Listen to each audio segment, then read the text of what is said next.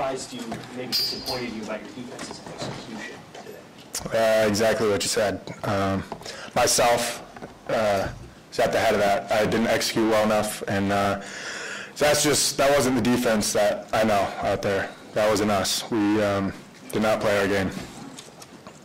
What, what, what did Michigan do that maybe took you out of your game, or what did you guys not? do? Um, in the beginning, they were just they were spreading us out, taking the DBs out of the run game. Um, that I mean, that really shouldn't surprise us. It's not the first time we've seen that, but uh, we just got to execute. Did you see much of anything on that first touchdown? I mean, it, it, it was your vantage point, it looked like he. I didn't do my job. Over your back, yeah. No, it shouldn't have happened. I didn't do my job well enough. What, what, in what, in what way, like, what do you do different? Uh, I got to stay in the post.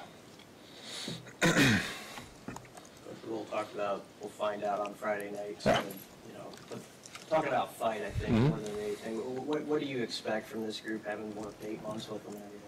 Um, we're just, we got to come back ready to go. I mean, we can't sit around and pout about this game. You watch the film, you learn from it, and you go and you, you take it out on the next team you play. Did you or the team notice the fans emptying out, and how did that have an impact? Um, you know, in the, at halftime, Coach Rhule said it. Uh, it's it's about us. Um, doesn't matter what goes on in the crowd. It doesn't matter what goes on with the other team. It's about us. So um, I think everybody did the best they could and just played football without distractions. Was there a, you know, Rhule kind of talked a little bit about maybe there was a little hesitancy, maybe not from you, but some of your teammates maybe in that for the first time. Did you sense that out there, and the guy's not just cutting loose and making plays?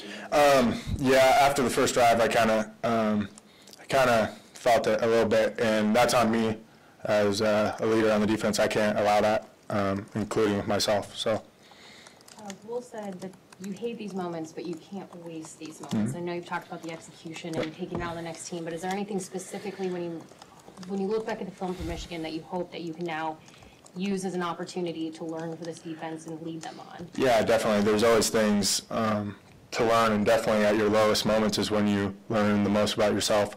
Um, so I really just hope to get in this filming with the guys and um, take accountability for everything we, we did wrong in this game, and then just use it next week.